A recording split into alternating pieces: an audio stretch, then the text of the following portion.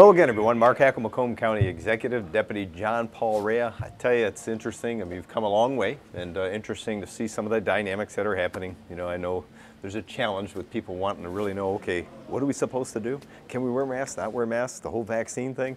Let's just uh, say, or suffice it to say, if you need a vaccine, it's available. Plenty of opportunity to get vaccinated anywhere. Again, it's not required by law. So with that being said, uh, you know, we shouldn't be challenging one another as to whether you have or haven't, um, and even the mask thing. Uh, there's been some challenges even at the state level as to who can or can't wear a mask pretty much everywhere you go. If people choose to wear a mask, they're wearing a mask.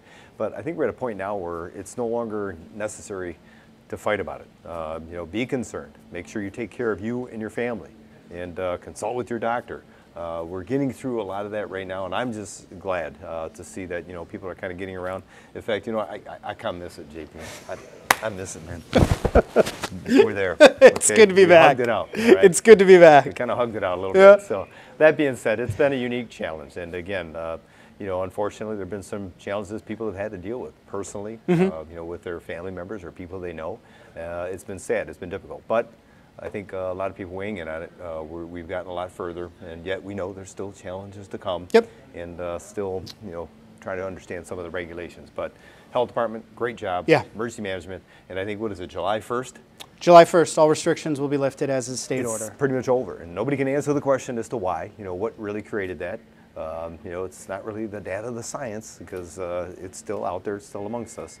But apparently, July 1st, it's over. Mm-hmm. There's no more orders in effect or anything. So, kind of weird. You can tell Yeah. people are just kind of like uneasy, not sure what to do right now. Mark, throughout this entire pandemic, we've really focused on the whole notion of assessing the situations that we're in and triaging any of the challenges that are before us or lifting up the opportunities that can assist the people around the county. Again, the clearinghouse for all that information has been macombgov.org. We'll continue to provide that information up there. And as you said, the tools and resources are at our disposal to combat this virus and put people in situations where they feel most comfortable. We have so many great things going for us, whether it's our health department, whether it's our community service partners, whether it's the individuals that are helping the businesses and the planning and economic development side, whether it's all the community partners that we have there around the community, whether it's the great programs that are coming out of the educational side. We have so many areas in which we are not only hitting our stride, getting back to whatever normal is going to be as people continuing to chime in on that, but I think most importantly, approach it with civility, approach it with dig- dignity, and approach it with respect. Yeah, no more. Let's not argue about this Yeah. again. If it's a matter of choice, whether or not you're vaccinated, uh, allow people the opportunity to make that choice. Uh, if they make it a law, that's a whole different, uh, I guess, arena. But it's not. Mm-hmm. So with that, you know, the question then becomes, you know, are they going to force people to give up their information, medical information, uh, to go into a business, to go to an event, to go to a function? Uh, that's going to be a huge challenge. Mm-hmm. And again, if it's not required by law, difficult for people to go ahead and say, well, but we're still going to require you to give up your medical information. Yet, I believe there's some places or people that are going to be doing that. So, again, it's going to be a unique challenge. But moving forward, I think there are lessons learned from this pandemic. I think uh, you know any organization, whether the business, uh, uh, your your own personal life, some of the things you've had to deal with, uh, some of the decisions made on behalf of the government, you know, from the federal to the state to the local. Uh, there have been a lot of, I guess, uh, lessons learned, and uh, you know, uh, it's a challenge. But for the most part, we know moving forward, uh, there's plenty of other things to do. You know, whether it's dealing with roads, economic development, you know, working with uh, employees within our organization, and in particular, dealing with the funding that's going to be coming our way that could be somewhat transformative. Uh, we're going to have a lot of funding is coming from a lot of different pools Absolutely, of money yeah. to deal with Macomb Community Action, resources, veterans, seniors, um, you know, housing opportunities. Uh, there's a lot of money that's going to be out there that's coming in different pockets. We know one of them, uh, the transformative one we're looking at, deals with this, uh, you know, American Recovery Plan.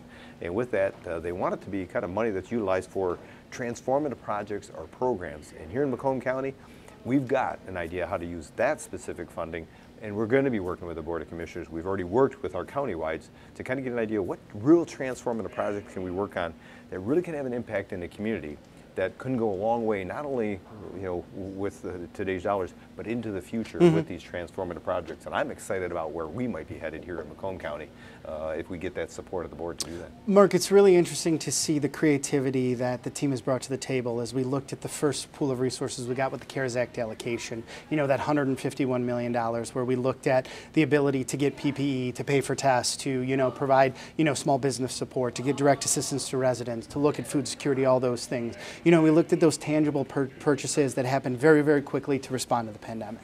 Now, what we're looking at with the ARP dollars is the whole notion of how we take nearly $170 million and ensure it has a lasting impact in the future to ensure that the county is in the best position to respond to emerging issues on community development, public health, the way that we view prosperity around our community. And as you said, Mark, bring in all those other different funding sources because there's always going to be a need in the community. But we know what these resources is that if that we make that initial investment, if we put in those enterprising dollars, we can start the conversation, bring those partners to the table, ensure that we make all the appropriate steps and have all the financial safeguards in there because we want to be stewards of the public trust. We want to make sure this money has a lasting impact, but most importantly, we want to leave a lasting change on the community. Yeah, let's not forget the CARES funding that first came in. There were only, if you will, four counties in the in the city of Detroit that benefited from that.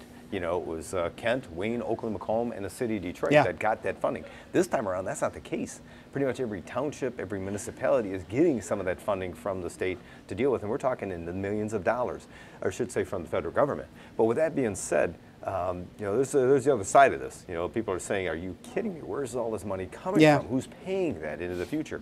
And uh, a valid question, you know, because there is a lot of money coming from the federal government for these projects. So our thought is, okay, we're not going to be wasteful. You know, it's not a situation where we're sitting at the top of the county building making it rain. We got to figure out if we're going to be doing something. Let's do something that truly is transformative.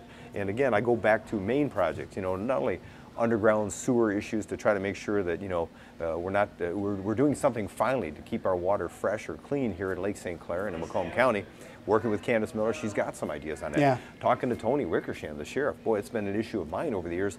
The central intake and assessment of prisoners that come in here, mental health, substance abuse, what are, what are the medical issues of these people, homeless concerns that are coming in, so we could truly take care of and look at a person when they come in those doors, not as just a prisoner and let's warehouse them inside of a facility, and uh, the family that's up behind. How do we address these issues with that first contact you have with law enforcement because a lot of times it is a concern that's underlying that created the problem with them coming in contact with law enforcement. And there's a lot we can do with that here in Macomb County and not have to raise taxes or raise the millage because we've got the money coming to us from the federal government to support and solve this problem.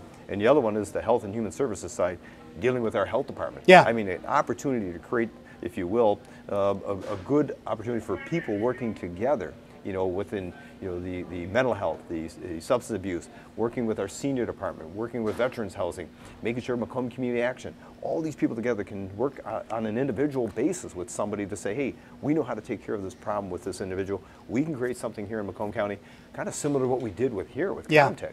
I mean, this is incredible. Nowhere else in North America they have a facility like we have here in Macomb County that was truly transformative. And the data, the information that comes into this so we understand about driving habits of people and to try to figure out how do we keep it safer out on the road is something that came out of this that we didn't intend to begin with. Mark, the outcomes that we never thought that we could get from a facility like this because it's founded in the understanding or expertise that you had in public safety. What happens if we have the central hub for dispatch? But then you bring in traffic operations, then you bring in intelligent transportation systems, then you bring in the ability for us to respond to all these things. It just grows, it expands, and it provides a better service to the public. But it's one of those things where on the front end, it's always like, how are you going to pay for something like this? Right. That's what these ARP dollars can be used. They can get us over that initial hurdle of how we're going to pay for this to then make those amazing changes for how we provide better service to the 880,000 individuals that live across this county. And we're going to be able to draw down for other grants and other resources Absolutely. that are out there to help support this as well. So I mean, it's pretty interesting in talking to you know various organizations that are out there, and nonprofit agencies, and the conversation we just got through uh, having with Dr. Hudson. Yeah, the um, United you know, Way. The United Way, you know, just had a conversation with her about how they can support, you know, and, and, and help us with these particular issues if we do something truly transformative.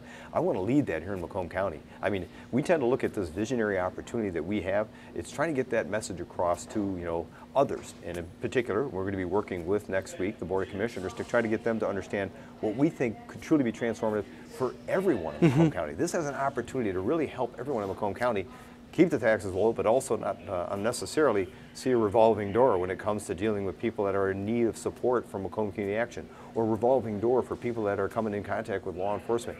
There is something truly uh, transformative we could do and lead the entire country where folks are saying, how did they do that? How did they get that right in Macomb County? And uh, we know we have the opportunity to do so, and we do not want to be wasteful with people's money, especially this 170 million that's coming our way Yeah. shortly.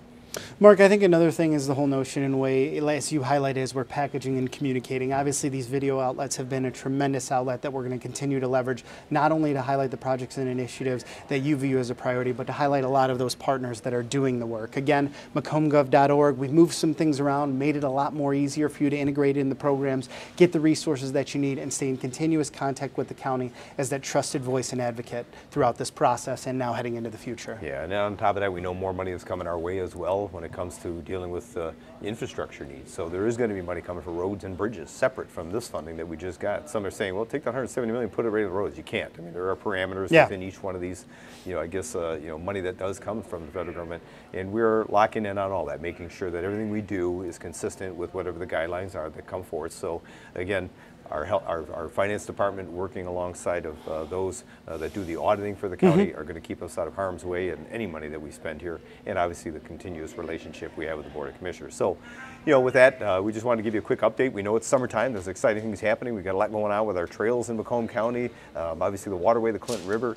Boy, I tell you what, those liveries are, are doing, a, they did a heck of a job last year. There's more to come as far as opportunities out on our Clinton River, the mainstream main street here in Macomb County, and uh, even our metro parks. Absolutely. some great things happening and couple of good announcements that are coming that I can't quite talk about. And that was a terrible tease, I guess, if you will. Um, uh, exciting things at the metro parks. Um, I'll let the parks deal with that when the time comes and those that are kind of uh, partnering with them. But for the most part, get out and enjoy the summer. I mean, there's tremendous opportunities. And uh, as I always say, you know, uh, the pandemic is, you know, pretty much coming to a close July 1st. I mean, that's uh, pretty much everything is no longer, you know, pandemic related um, or COVID related. So let's not uh, let's not get into the fight as to whether somebody's wearing a mask or not. Please, if you feel uncomfortable, uh, get vaccinated if you haven't. If your doctor suggests that you do, and uh, don't argue with one another over the masks thing and who should or who shouldn't get vaccinated because it is a choice. It is not required by law. And uh, you know, with that, on behalf of JP, myself, and the rest of us here in Macomb County, please enjoy the summer that is coming up. And uh, want to remind everyone to still continue to keep you and your family safe.